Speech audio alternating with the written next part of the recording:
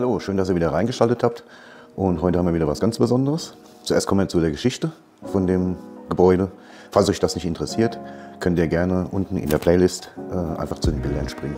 Ja, 1976 wurde das Etablissement äh, in Babenhausen eröffnet mit dem Namen de Jamour.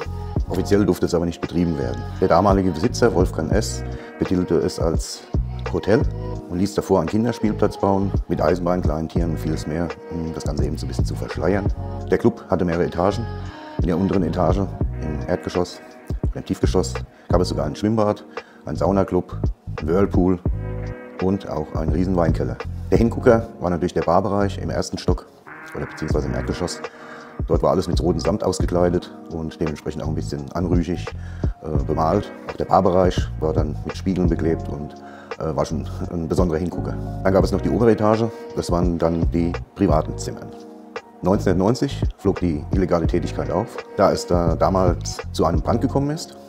Der damalige Besitzer saß dann für sieben Jahre ein und wurde seitdem nie mehr wieder gesehen.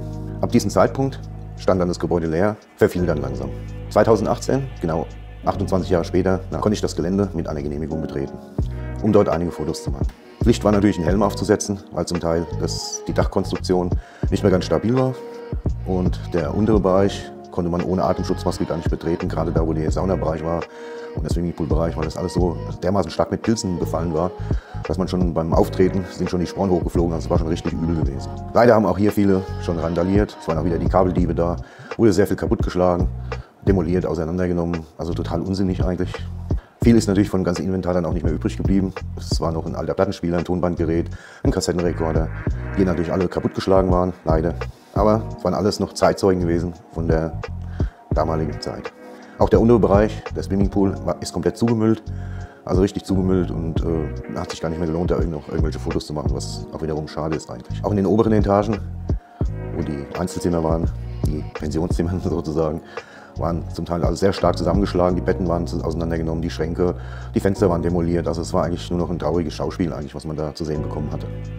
Das einzigste Highlight war dann ja, das Zimmer der, ich sag jetzt mal, ja, Bordellmutter. Das war dann natürlich das größte Zimmer, auch ein Doppelbett. Und äh, hat das wirklich gewagt, mich mal draufzustellen.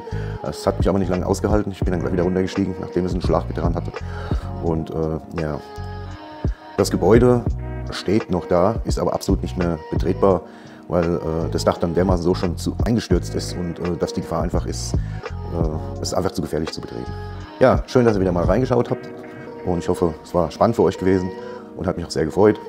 Und wenn ihr möchtet, könnt ihr dann auch das nächste Video anschauen, wenn ihr wollt. Und äh, ja, wenn ihr möchtet, könnt ihr auch gerne ein Like da lassen oder abonnieren, wie ihr wollt. Dann sehen wir uns vielleicht beim nächsten Video. Tschüssi!